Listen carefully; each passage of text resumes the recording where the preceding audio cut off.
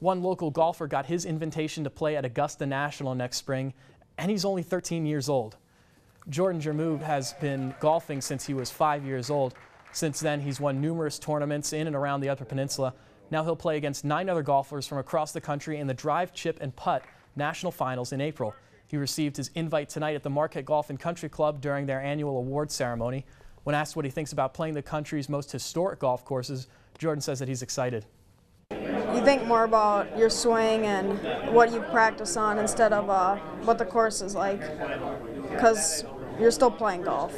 He, he found something at a very young age that he's very passionate about, and he's learning the value of putting hard work into anything, and the results are, are bearing that. And we're just extremely proud.